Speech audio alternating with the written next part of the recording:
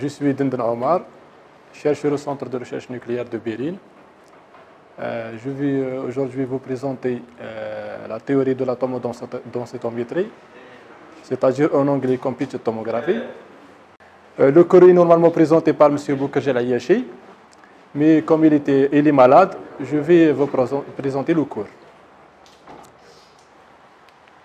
Nous commençons d'abord par une petite définition et un peu d'histoire de la technique.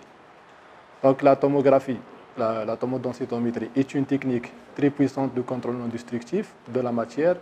C'est une technique d'imagerie dans laquelle des modèles 3D ou 2D d'objets sont créés à partir de, plusieurs projections 2D obtenues sous différents angles.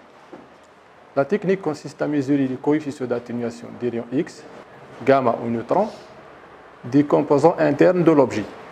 Et par un traitement informatique des données mesurées, euh, on produit des images représentant les structures internes de l'objet. Bien que la possibilité théorique de créer un appareil de tomographie soit connue depuis le début du XXe siècle, ce n'est qu'au début des, années 70 que les premiers, les premiers imageurs euh, sont apparus, couplés ou assistés par des ordinateurs suffisamment puissants pour pouvoir effectuer rapidement les calculs nécessaires à la reconstruction d'images. En l'honneur du développement de cette technique, les scientifiques Godfrey Newbold Hansfield et Alain MacLeod Cormack ont reçu le prix Nobel de physiologie en médecine en 1979. Godfrey Newbold euh, Hansfield est un ingénieur britannique, alors euh, euh, Alain Cormack est un physicien américain d'origine sud-africaine. Le premier scanner de tomographie fonctionnelle a été testé pour des cerveaux humains réservés. comme la tomographie est basée sur la reconstruction d'images à partir des projections radiographiques, on doit savoir qu'est-ce qu'une projection radiographique. Il s'agit tout simplement d'une mesure de la, de la transmission d'un faisceau de rayonnement, rayon X, gamma ou neutron, à travers l'objet.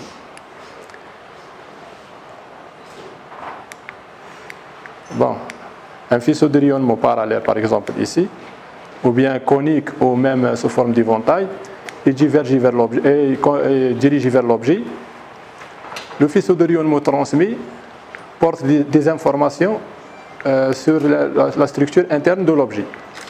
La distribution de cette euh, transmission peut être enregistrée sous forme d'image par un détecteur d'image. Ce détecteur peut être euh, une caméra CCD, un panneau plat ou même des films radiographiques. L'une des applications des projections radiographiques est la radiographie X, que tout le monde sait normalement. Par exemple, la radiographie thorax. Bon, mais une seule projection pour montrer quelques détails de l'objet sont d'autres. Et l'interprétation et la quantification parfois sont très difficiles. L'art de l'ombre, par exemple, peut facilement montrer l'insuffisance d'une seule projection, non seulement à l'interprétation, mais elle peut, elle peut nous faire donner des interprétations fausses, malgré qu'elles semblent bien claires. L'image, par exemple, ci-contre, euh, montre qu'à partir euh, d'un arrangement bien déterminé des mains de l'homme, par projection de lumière, on peut avoir euh, l'ombre d'un oiseau.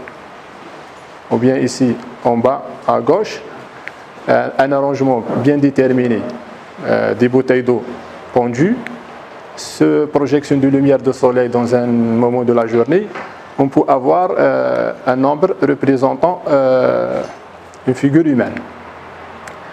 La troisième image ici montre qu'à partir d'un seul, seul, objet et deux projections de lumière sur deux angles différents, on peut avoir d'un côté l'ombre d'un fœtus et de l'autre côté l'ombre d'un vieil homme. Suite à ces mauvaises interprétations, la tomographie est apparue pour résoudre ce problème. Principe de la tomographie. Le principe de la tomographie est basé sur la géométrie bidimensionnelle d'un objet à partir d'une série de projections unidimensionnelles mesurées tout autour de lui. C'est-à-dire une image, une image c'est-à-dire une fonction bidimensionnelle, f, x, y, c'est-à-dire une image de D. On peut reconstruire cette image à partir des projections selon différents angles. C'est un théorème purement mathématique. Cette méthode peut être euh, étendue à la reconstruction de l'image euh, de la tomographie interne d'un objet à partir de la façon dont les rayons qui le traversent sont absorbés en fonction de leurs angles de, euh, de pénétration. Cependant, les calculs nécessaires à cette technique la rendent peu pratique avant l'avènement des ordinateurs. Bon, ici, on explique davantage le théorème. Euh, le théorème de Radon euh, est un théorème purement mathématique euh, qui traite des fonctions bidimensionnelles, c'est-à-dire des, images 2D. Mais en réalité, on n'a pas des objets 2D, on a des objets, toujours, on a des objets 3D.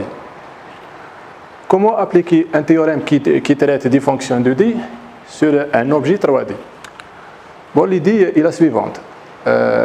on coupe l'objet en plusieurs tranches l'épaisseur de chaque tranche est, euh, euh, à peu près un pixel, c'est-à-dire très mince, les, couches. Et on aura des fonctions f de x, y, deux, deux dimensions. Comme montre cette figure ici. Bon. Ah. Ici, c'est une coupe d'un objet 3D. Un objet 3D, une coupe Bon, ces coupes euh, ne sont pas euh, sont imaginaires. On a l'objet, on a l'objet 3D. Euh, Par coupe, on trouve des fonctions, séries de fonctions f de x, y. D'ailleurs, بالعربية نقولوا نقولوا التصوير المقطعي. المقطعي c'est-à-dire des coupes في l'objet. Donc l'objet 3D nous donne des fonctions f de x, y, c'est-à-dire 2D. Euh, le théorème de Radon est le suivant. Si un chemin droit, S, donné à travers l'objet, est défini par deux variables paramétriques, euh, T, la variable T, c'est la distance entre le centre de, la référence et la droite. Euh, le paramètre T est l'angle d'inclinaison de la droite. La projection à travers f de x, y le long de S peut être euh, représenté par l'intégrale de la ligne, de, cette intégrale ici. Donc cette intégrale représente la somme des points, la somme des valeurs des points de la fonction f de x, y qui se trouve sur la ligne. C'est-à-dire on euh, seulement les points qui se trouvent sur la ligne de la fonction. Cette intégrale nous donne une, euh, nous donne une valeur, bien sûr. Cette valeur obtenue ici par cette par la, projection ici, elle est différente de celle-ci, par exemple ici, ou ici, ou même par là. Donc la fonction obtenue P de, euh, euh, de θ t est nommée la transformée de Radon de la fonction f de x, y. Mhm. Bon, revenons en arrière. Euh, la droite S peut être mathématiquement exprimée par, la formule, par cette formule ici x cosinus θ plus y sinus θ égale à t. Hein? Euh, pour, pour, représenter, pour, représenter, mathématiquement euh, une intégrale d'une fonction bidimensionnelle selon une seule droite, on doit introduire euh, la fonction de Dirac ici. Et la formule de la transformation de Fourier devient celle-ci. X, Y sont apparus parce que ici, euh, S est représenté par cette formule, c'est-à-dire S ici, et en fonction de X et Y. Si on varie θ, euh, plutôt T ici, on aura la projection, toute la projection de la, euh, coupe. Et on aura la, fonction de projection. C'est une fonction unidimensionnelle dont, la variable est t ici, et de θ t. Θ toujours, c'est un paramètre d'angle de projection. C'est un, un, exemple explicatif de, de la transformation de, de, plutôt de Doradon. Soit une image, par exemple, ici, euh, constituée de deux détails, un ellipse et un disque, par exemple. L'intensité ou bien la, distribution de coefficients d'atténuation euh, dans les détails, c'est est forme f de x, f1 de x est égal à 1 toujours pour tous les points qui se trouvent à l'intérieur de, l'ellipse. Et de même pour le disque, euh, les coefficients d'atténuation toujours égal à 2 pour tous les points qui se trouvent à l'intérieur du disque, égal à 0 ailleurs. On applique la fonction de euh, la, formule de la transformation de Radon sur, ces deux détails. Euh, par développement mathématique, on trouve la formule de la projection. Et c'est P de θ t euh, dans la variable est et t, et le paramètre de projection est θ. Bon, euh, ici, ces figures montrent la représentation graphique de cette formule en fonction de différents états. Ici, pour θ égale à 0, par exemple, il n'est pas clair ici.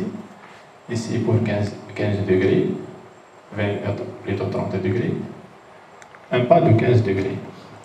Ici, par exemple, 150 degrés. Et ici, 180 degrés. Si vous remarquez ici que euh, la projection 0 et la projection 180 sont symétriques. Pourquoi on, explique euh, au début l'image l'image ici, et donc, dans l'image ici, euh, l'ellipse se trouve à droite, alors le disque se trouve à gauche. Pour la première projection, θ égale à 0, la projection de l'ellipse est à droite et la projection du disque est à gauche. Mais, mais quand l'objet tourne euh, de 180 degrés, l'ellipse devient à gauche euh, et le disque devient à droite. Donc les, deux projections euh, par cette euh, rotation deviennent symétriques. Bon, le théorème de Radon, c'est-à-dire la transformation de Radon, est un concept purement mathématique. En pratique, comment mesurer une projection pour un objet? Ou bien quel est le moyen qui nous permet de mesurer la projection d'un objet. Donc, l'un des moyens les plus efficaces pour obtenir une projection, c'est bien la transmission de rayonnement à travers l'objet. Cette transmission permet de mesurer les coefficients d'atténuation f de xy, c'est-à-dire f de xy représente les coefficients d'atténuation de l'objet. La relation qui relie les coefficients d'atténuation et la transmission est représentée par cette expression. Où n θ t représente l'intensité du faisceau, c'est-à-dire la distribution de l'intensité du faisceau transmis. N0 est l'intensité du faisceau, la distribution de l'intensité du faisceau incident. f de x, y, les coefficients d'atténuation, et s, la distance parcourue par le rayonnement. Lorsqu'on introduit euh, la fonction inverse, qui est le logarithme, sur la fonction exponentielle, on trouve la projection de l'objet selon le théorème de Radon. Bon, en pratique, euh, dans le domaine de la recherche ou l'industrie, euh, l'objet est placé, l'objet est placé sur une table tournante la table doit être euh, synchronisée avec euh, le détecteur de l'image. Mais en médecine, par exemple dans le domaine de l'imagerie médicale, il est difficile de faire tourner l'objet, plutôt le, patient. Donc c'est la source et le détecteur d'image qui tournent. Bon, la géométrie du, du, faisceau, il y a plusieurs géométries du faisceau. Ici, il y a la géométrie parallèle. Ici, par exemple, dans le domaine de l'imagerie neutronique. On a toujours des, faisceaux de, de notre parallèle, on n'a pas des faisceaux de notre euh, d'autres géométries. Presque, on dit presque parallèle. Mais dans le domaine de l'imagerie médicale, la plupart des cas, les, les, géométries sont soit géométrie conique comme ici, ou bien une géométrie sous forme de euh, sous forme d'éventail. Bon, bon, dans le cas euh, de la géométrie d'éventail ici, euh, l'objet ou le patient doit avoir un mouvement de translation afin de couvrir toute la région d'intérêt. Pourquoi? Parce que euh, c'est vrai que euh, le faisceau d'éventail a, une forme, a une, une, forme large, mais l'épaisseur de, de, de, faisceau immense. Donc, le patient doit avoir un mouvement de translation. Bon, généralement, dans la tomographie, une rotation de 180 degrés est suffisante. Pourquoi? Parce que la projection 0 et la projection 180, comme on a déjà dit, sont symétriques. Et la projection, par exemple, 20 euh, degrés et la projection de 100 degrés sont symétriques. Donc, ce n'est pas la peine euh, de faire tourner euh, l'objet jusqu'à un angle de 360 degrés. Bon, mais en pratique, on doit avoir au moins un minimum de projection symétrique. Pourquoi? Parce que, pourquoi? Pour corriger l'erreur due à l'inclinaison de l'axe de rotation. Parce que souvent l'axe de rotation de l'objet n'est pas vraiment vertical, ou bien n'est pas vraiment horizontal. Donc on, doit faire des corrections sur ce problème. On doit avoir deux projections euh, symétriques, comme par exemple 0 et 180. Donc on a déjà dit, euh, dans la tomographie, on imagine l'objet est une superposition de plusieurs coupes. L'épaisseur de chaque coupe est l'ordre d'un pixel. Bon, et on fait, traite les coupes, euh, c'est-à-dire les tranches, euh, séparément, chacune. Mais en pratique, on n'a pas de projection euh, coupe par coupe. On a un objet 3D, on aura une projection 2D. Donc, dans chaque projection, 2D, on prend seulement une ligne. Une ligne qui correspond à cette, seulement cette projection. la superposition de toutes ces, lignes, qui correspond à la projection, par exemple celle-ci ici, on trouve ce qu'on appelle un sinogramme ici. Si vous remarquez que l'angle augmente, il y a des, des, des formes de dues à la rotation. Par un programme informatique,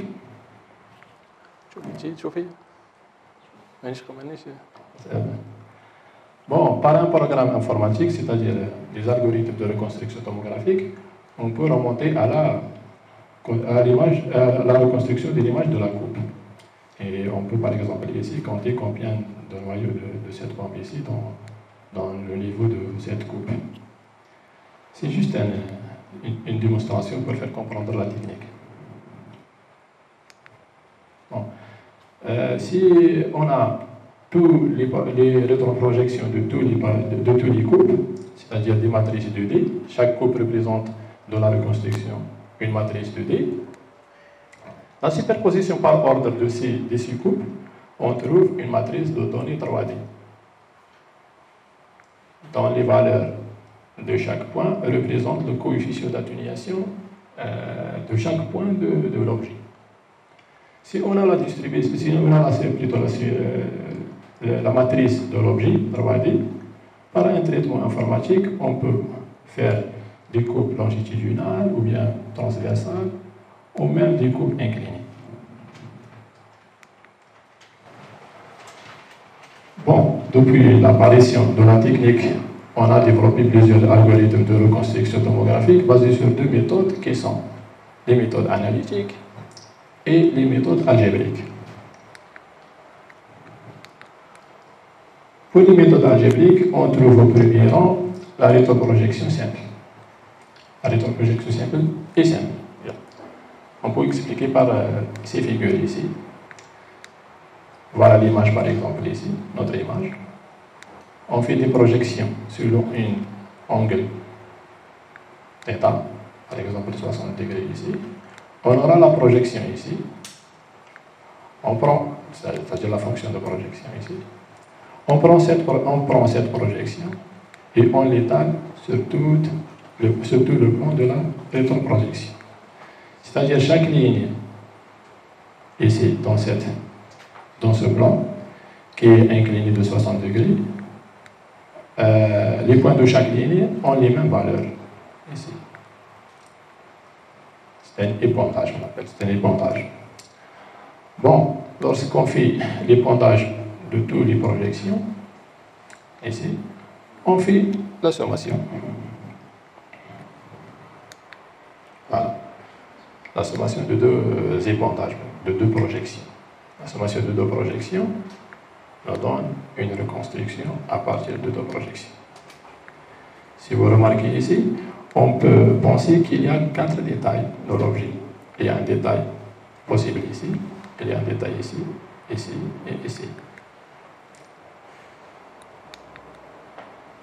Un troisième épondage de la troisième projection, ici. Donc, on aura la une euh, reconstruction à partir de trois projections. On élimine ce détail éventuel ici et ce détail ici. Pourquoi? Parce qu'il n'y a pas d'intersection avec le troisième épondage ici. Donc, on confirme qu'il y a deux, détails ici et ici. Un quatrième épondage, voilà, ici, permet de confirmer qu'il y a seulement deux détails, un détail ici et un détail ici. Déjà, l'ellipse a commencé de faire son, sa forme, même euh, le disque. Bon, donc euh, nous continuons de cette manière jusqu'à l'image se forme de la reconstruction. Mais quel est l'inconvénient de la rétroprojection simple? Si vous remarquez ici, et ici, malgré le, nombre de projections augmente, il y a toujours un niveau de gris autour des, détails qui n'est pas nul. C'est un bruit. Ce bruit s'appelle euh, artefaction forme d'étoile, si vous remarquez ici, ou forme de, de triangle. Lorsque le nombre de projections augmente, ce bruit devient un flux autour de les détails de l'objet. Donc la rétroprojection simple, on peut dire que la rétroprojection simple n'est pas vraiment euh, la transformée inverse de la transformée de radon. Seulement c'est quelque chose qui proche. Mais, voilà. On passe maintenant au théorème de la coupe centrale. Avant de parler du théorème de la coupe centrale, on doit parler un peu sur la transformation de, de, Fourier d'une image. La transformée de Fourier FU d'une fonction spatiale unidimensionnelle, ici fx, est définie par cette formule. Alors, c'est que la fonction f est une fonction bidimensionnelle, f de x, y, ici, on introduit le double intégral. C'est-à-dire, on fait les transformées de Fourier des lignes de l'image, ligne par ligne, ici, sur un X, ligne par ligne. Et sur le résultat obtenu, on fait la transformée de Fourier euh, colonne par colonne. Et on, aura, la représentation fréquentielle de l'image. Alors on explique ici. On a par exemple notre image, ici, f de x, y. Par transformation de Fourier, on trouve la représentation fréquentielle de cette image. Le centre de cette image, le point situé à l'origine, représente la composante continue, c'est-à-dire une fréquence nulle, représente quelque chose de continu, c'est-à-dire c'est la moyenne de l'image. Les basses les basses fréquences se trouvent tout autour de, de centre et les hautes fréquences en extrémité, ici.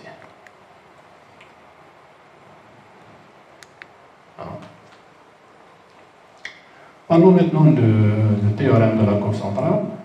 Nous avons déjà vu qu'une projection pouvait mathématiquement s'écrire sur la forme P de θ égale à cette formule, on a déjà euh, parlé, dont, dont, on a parlé dans slide.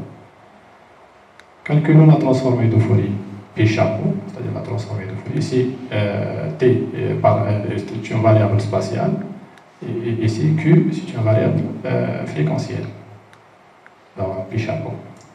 Donc, on, substitue la formule de P de T de la projection dans euh, l'intégrale de, de, Fourier. Et ici, on trouve le double intégral. Bon, comme on a déjà dit, la droite S est définie mathématiquement par cette formule. Bon, on peut QT ici, remplacer par cette formule, et on substitue Q cosinus θ par QX, Q cosinus θ par QY. Donc le, euh, la, euh, euh, la de Fourier de la projection devient cette formule. On a ici que, on a remplacé ds dt par dx, y, parce que le schéma ici montre que ds dt égale à dx dy. C'est-à-dire la surface du carré. Surface égale. Bon, la double intégrale n'est que, c'est une double intégrale, n'est autre que la transformée de Fourier bidimensionnelle de l'image f de x, y. Mais remarquez, quand on attention, c'est ici qx et QY ne sont pas euh, homogènes. Parce que QX égale à euh, Q cosinus θ et Y Q sinus θ, c'est-à-dire QX et QY. On n'est pas dans un, dans un référentiel homogène. Donc nous venons de démontrer le théorème de la courbe centrale qui s'énonce. La transformée de Fourier d'une projection correspond à une ligne de la transformée de Fourier de l'image qui passe par l'origine et fait un angle θ avec l'axe des abscisses. Je sais que il n'y a pas toujours, n'est pas encore clair, mais il n'est pas encore clair, mais on peut expliquer davantage. Voilà, par exemple, une image de D ici. Euh, on a deux chemins pour passer de la, représentation euh, spatiale de l'image vers la représentation fréquentielle de l'image. Soit on passe par une transformation de Fourier 2D de l'image entière et on trouve directement la transformée de Fourier de l'image complète. Soit on passe par des projections selon le théorème de Radon. Ces projections, on prend ces projections, on fait la transformée de Fourier de chaque projection, et chaque projection est représentée par une droite dans la représentation fréquentielle de l'image. Cette droite est inclinée par un θ. Ce θ correspond à l'angle de projection de, de l'image. Si on fait la transformation de, euh, de Fourier de toutes les projections, et qu'on les représente ici, dans le domaine fréquentiel de l'image, on remplit le plan fréquentiel de l'image. Lorsqu'on aura la représentation fréquentielle complète de l'image, on fait une transformation inverse et on revient à notre image initiale. Bon. On expliqué ça. Une autre, euh, schéma, un autre schéma peut être euh, expliqué, euh, expliquer mieux. Ici.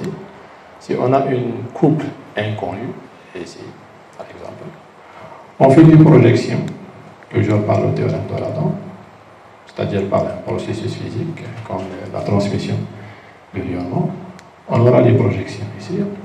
Lorsqu'on a, a les, projections ici, on fait des transformations de Fourier unidimensionnelles. On trouve les, les transformations de Fourier de, les, de les transformés, de toutes les projections, de toutes les projections et on représente chaque, chaque euh, transformé de Fourier de chaque projection dans sa droite, ici. Toujours, on respecte l'angle de projection θ. On a projeté par un θ ici. On respecte l'angle d'inclinaison de la représentation de, la transformée de Fourier. On fait une transformation inverse, transformation de 2D de l'image complète on trouve notre image recherchée. C'est ça le théorème de la coupe centrale. Cependant, c'est-à-dire quel est, l'inconvénient de, de, l'application du théorème de la coupe centrale? Bon, le nombre de projections n'est pas infini, toujours. Dans, la réalité, on ne peut pas faire un nombre infini de projections. Donc toujours le nombre de projections est fini.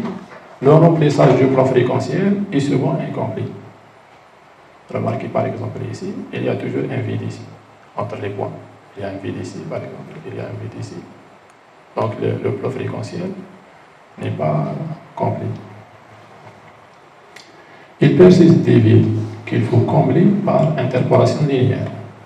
Cette étape de remplissage des plans de Fourier est longue et complexe, ce qui rend cette méthode peu, attractive et par conséquent très rarement utilisée. Passons maintenant à la méthode rétroprojection filtrée. Bon, rappelons par la formule de la, le, théorème de la coupe centrale, voilà ici. Tout simplement, on substitue ici euh, les, variables de fréquence par euh, ces expressions euh, initiales, ici. Puis on passe, on passe des coordonnées cartésiennes aux coordonnées polaires de dx dy égale à q dq dθ. Et la formule, la formule devient comme celle-ci, ici. Bon, euh, l'intégrale interne, n'est que la transformée de Fourier inverse de la transformée de Fourier de la projection P de θ mais multipliée par la fonction valeur absolue de Q. remarquez ici, c'est la projection, euh, plutôt la transformée de Fourier de la projection, en euh, l'exponentielle de Fourier ici. Et, et, le Q est une nouvelle fonction apparue dans la formule. Bon, l'intégrale externe, celui-ci, de 0 à P, ne représente que l'épandage des projections euh, obtenues par euh, euh, notre transformation de Fourier inverse.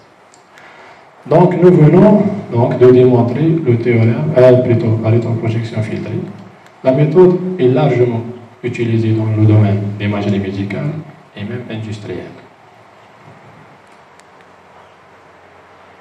Voilà, ce schéma explique davantage. Voilà notre image par exemple. Ici, on fait des projections par un rayonnement. On aura, les, sinogrammes, c'est-à-dire les sinogrammes, c'est l'arrangement de toutes les projections liées, par, liées sur ligne, par ordre. On fait la transformation de Fourier de toutes les projections, on ici. On multiplie euh, ce résultat de transformation de Fourier des projections par Q. Q, c'est un filtre. La valeur absolue de Q, c'est un filtre. On fait la transformation de Fourier du résultat de multiplication. Ici. On trouve PF de T, c'est-à-dire projection filtrée. F, c'est-à-dire filtrée. On fait un épandage de pour, toutes les projections. Et ensuite, on fait la sommation. On trouve l'image recherchée, reconstruite par la, méthode de rétroprojection filtre.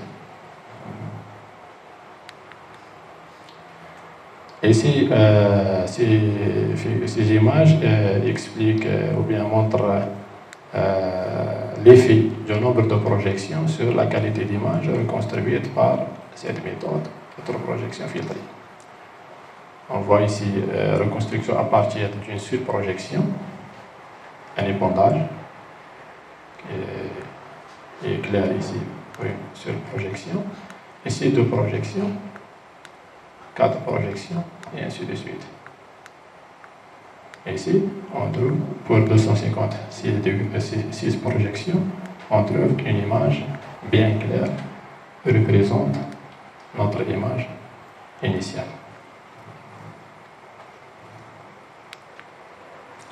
On parle maintenant un peu sur les filtres.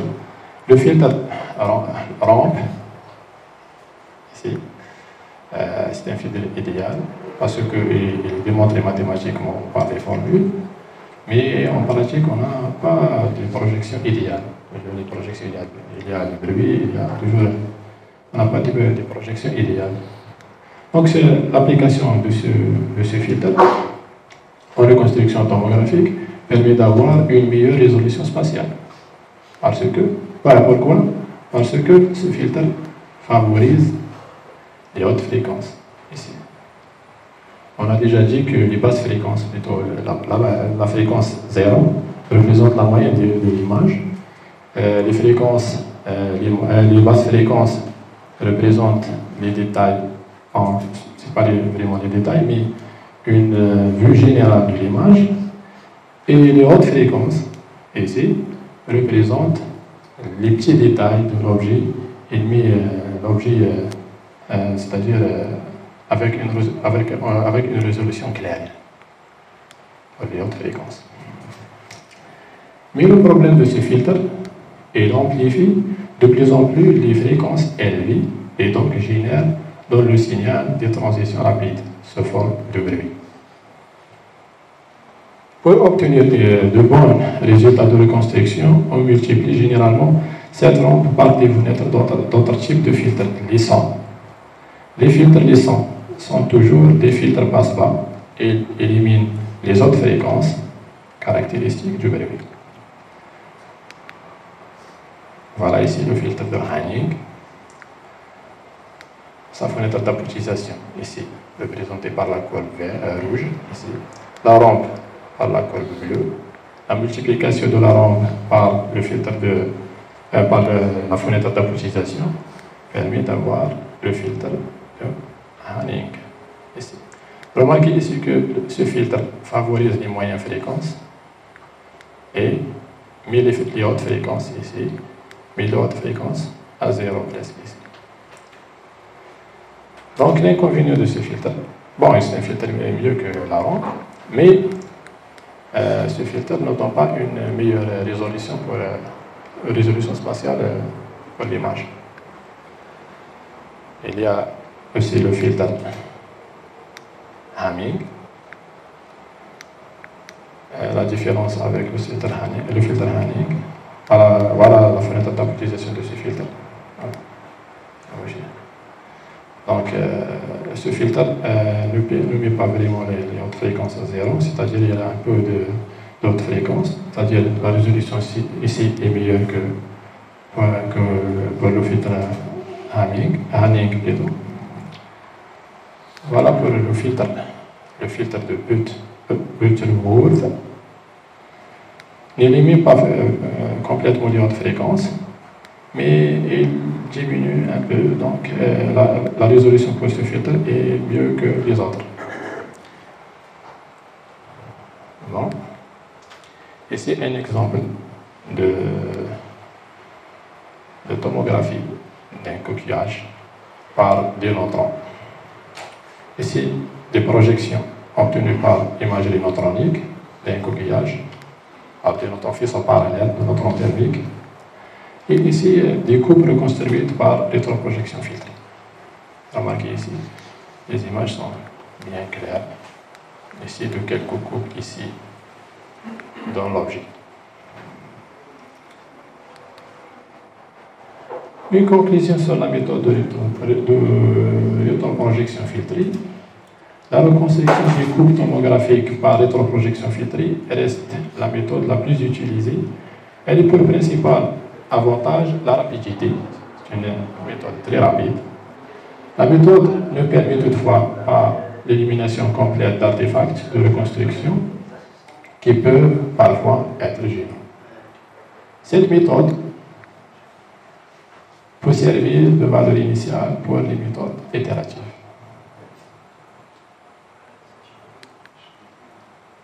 Méthode algébrique ou bien méthode itérative. Nous commençons par une petite introduction de cette méthode.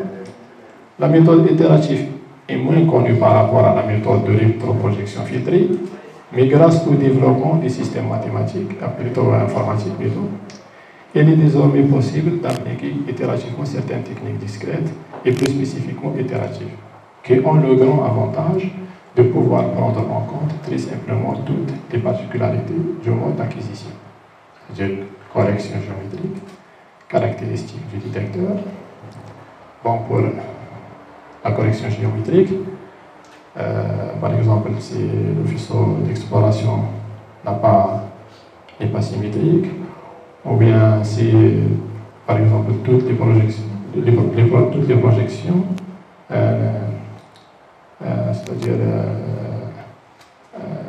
non pas obtenues par, par le même faisceau de, projection, c'est-à-dire le faisceau de les projections ont, été obtenues à partir des, des, des, faisceaux d'exploration qui ne sont pas identiques, c'est-à-dire on peut faire des corrections dans la méthode.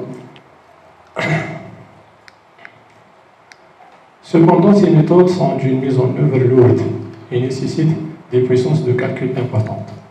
En plus, l'utilisation des algorithmes itératifs nécessite des compétences particulières, une connaissance approfondie des algorithmes utilisés et le choix de certains paramètres caractéristiques, en particulier l'opérateur de projection qu'on va voir dans ce cours, et le nombre d'itérations ainsi que leurs effets sur la qualité de l'image reconstruite. Et c'est compréhensible, dans la reconstruction algébrique qui est appelée aussi méthode itérative a une base intuitive simple. L'idée de, de, ces méthodes sont très simples.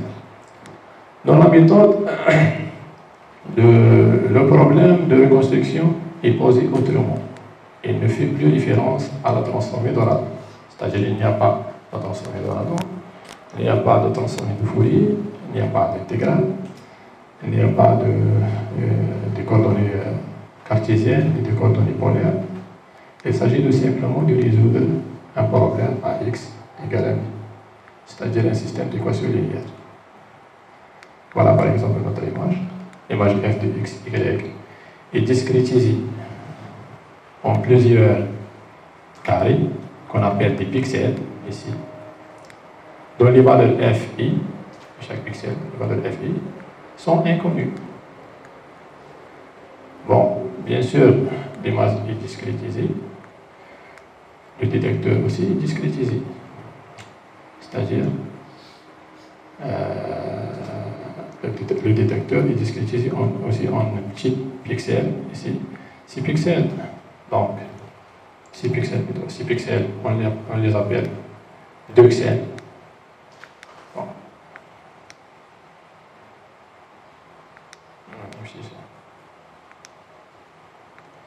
Ça s'appelle pixels parce que un pixel c'est-à-dire un détecteur élément. élément un pixel de détection. Bon, la, reconstruction d'image par la méthode itérative fait appel à l'hypothèse suivante. Voilà l'hypothèse. Chacune des valeurs détectées dans un pixel est une combinaison linéaire des valeurs f et des pixels à reconstruire.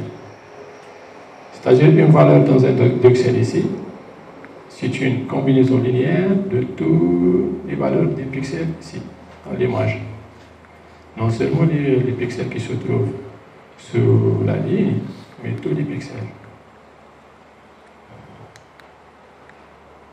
Le problème de reconstruction fait appel à des expressions matricielles sur la forme P égale RF.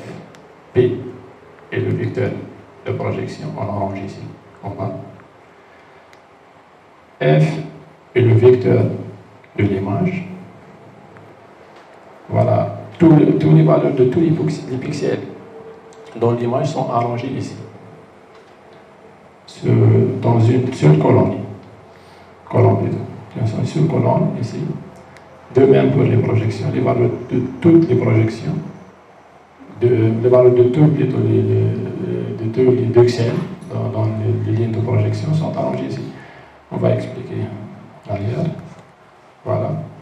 C'est par exemple euh, la ligne de projection constituée de 100 pixels ici, et on, aura, et on a plutôt 8 euh, projections, donc 100, 200, 300, 400, 500, 600, 700, 800, donc on, aura 800 euh, éléments dans le vecteur de projection. Ici. Mais le problème de la méthode de la difficulté de, la méthode algébrique, c'est la matrice de reconstruction. On veut ici. cette matrice. Bon, il y a trois méthodes, ou bien trois modèles connus pour la modélisation de l'opérateur R. S'appelle l'opérateur de projection. Il y a le modèle exact, le modèle de Dirac et le modèle de longueur de ligne. Bon, pour le modèle exact, c'est un pixel ici dans l'image. La contribution de ce pixel à la, la, valeur de, euh, de, de dans la ligne de projection représente une partie de sa surface qui ayant une euh, intersection avec la ligne de projection. Pour le, le modèle de Dirac, si la ligne de projection a une intersection avec le pixel, donc la contribution de ce pixel est mise à 1. Sinon, est 0. Pour le modèle de longueur de durée, le, le modèle plus simple, donc la contribution de, ce pixel est la longueur du segment qui fait interaction avec, qui fait intersection avec la ligne de projection. Bon, il y a aussi la modélisation physique de l'opérateur de projection qui prend en compte l'atténuation, la diffusion et, et, même la réponse du détecteur.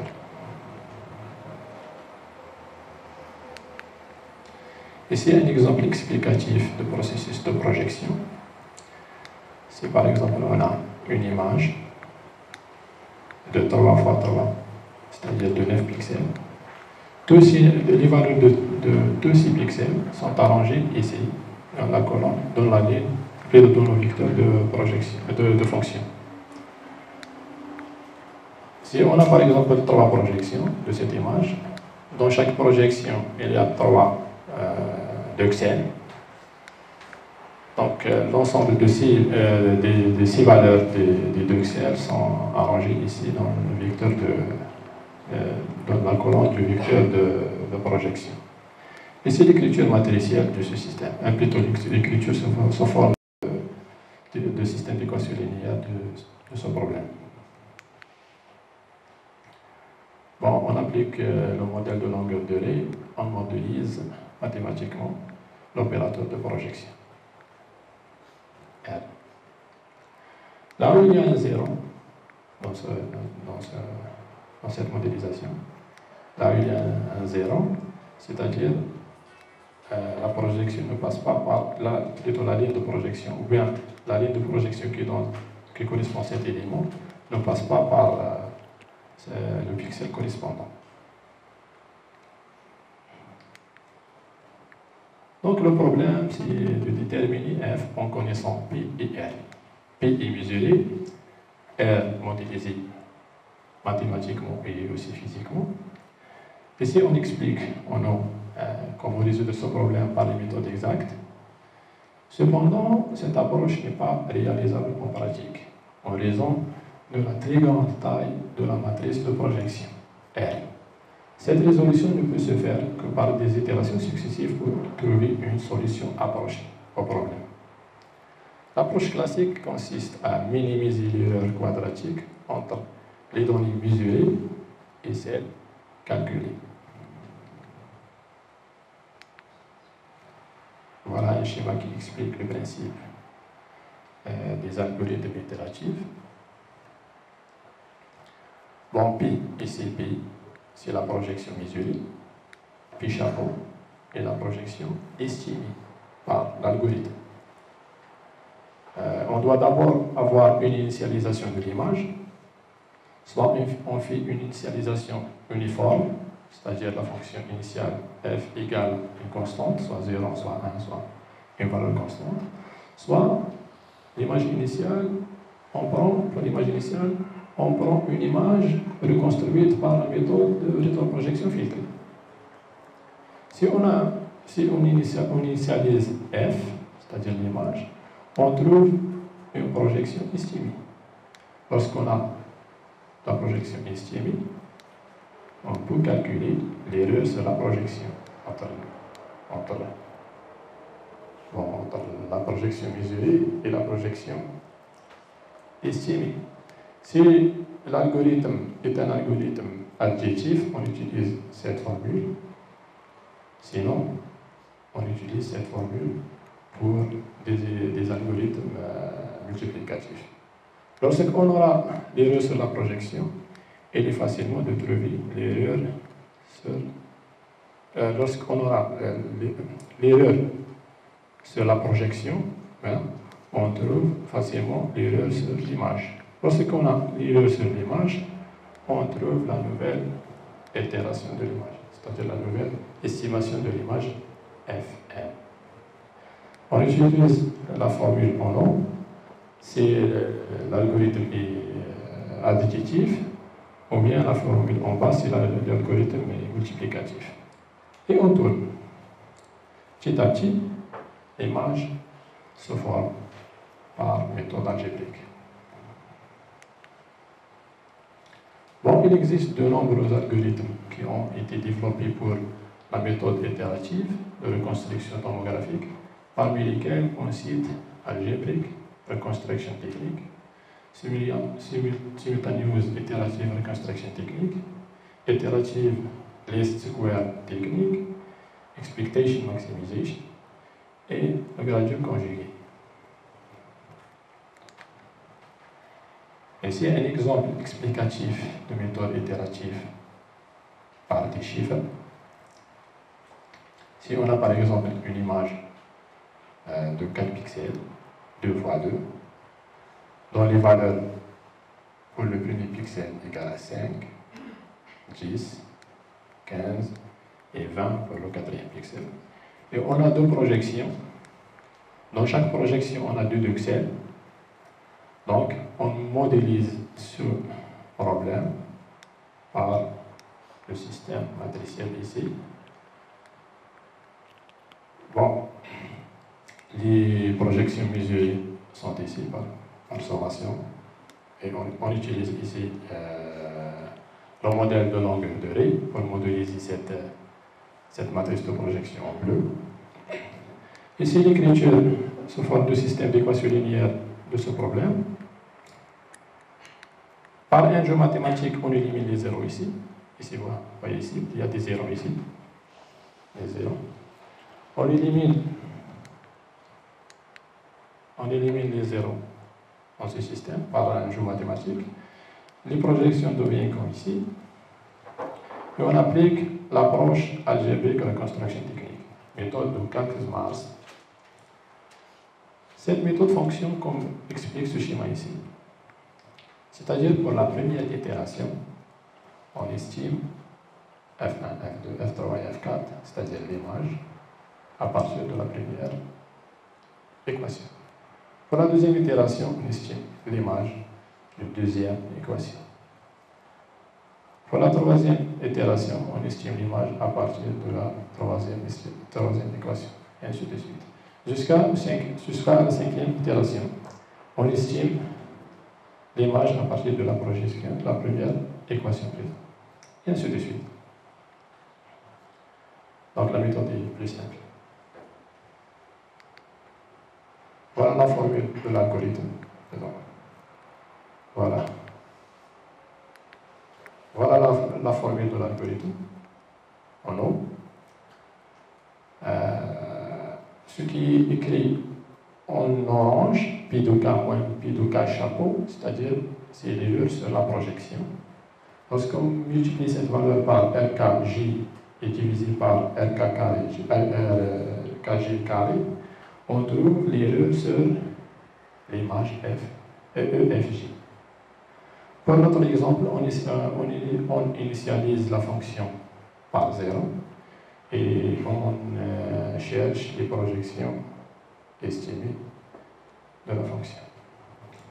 On applique cette formule ici, parce qu'on a les projections estimées, les projections zéro estimées.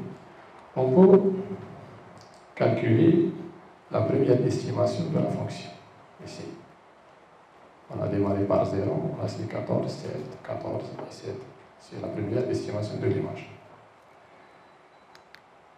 Bon, lorsqu'on a, on a la première estimation de l'image, on peut calculer la première estimation des projections. Lorsqu'on a la première estimation des projections et la première estimation de l'image, on peut calculer la deuxième estimation de l'image. On voit les valeurs. Lorsqu'on a la deuxième estimation de l'image, on peut calculer la deuxième projection de l'image. Lorsqu'on a la, deuxième euh, projection de l'image et la deuxième projection, et la deuxième estimation des projections, on peut calculer la troisième estimation de l'image. Vous voyez ici. Et ainsi de suite.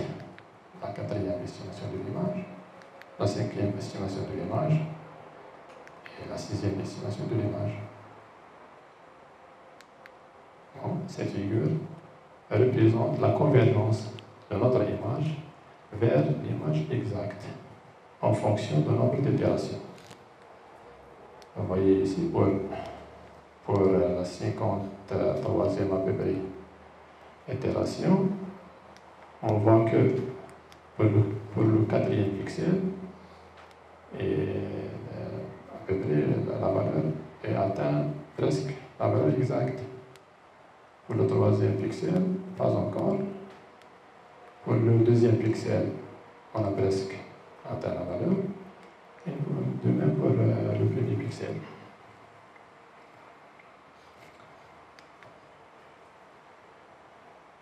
Euh, toutes les techniques algébriques commencent au début par une convergence vers l'image, mais à partir de certains, certains points, un certain nombre d'itérations, l'algorithme commence à diverger.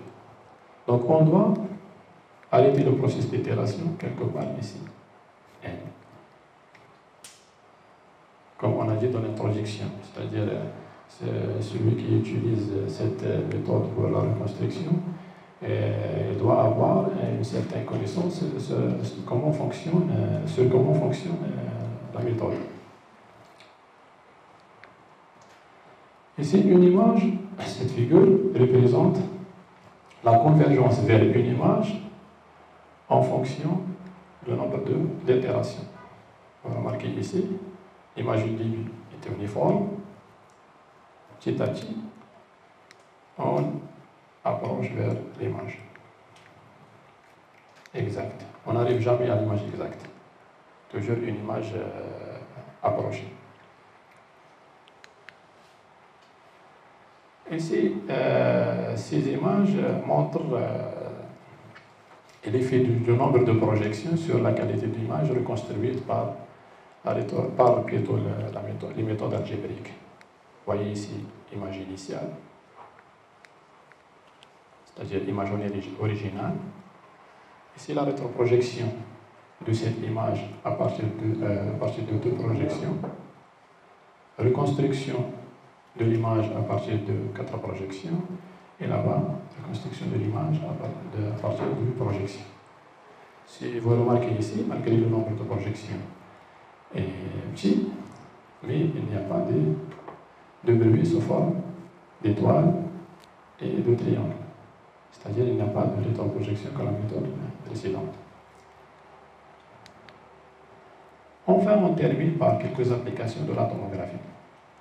Bon, la tomographie est utilisée dans de nombreux domaines, parmi lesquels on cite le domaine de la santé avec l'imagerie médicale, le contrôle de la qualité de la, euh, matière adhésive entre deux parties métalliques, l'examen des pièces archéologiques pour la, détermination de leurs origines, domaine de la paléontologie, par exemple l'étude des structures internes des hominines difficiles, fossiles plutôt, et de compenser les altérations subies au cours de la fossilisation.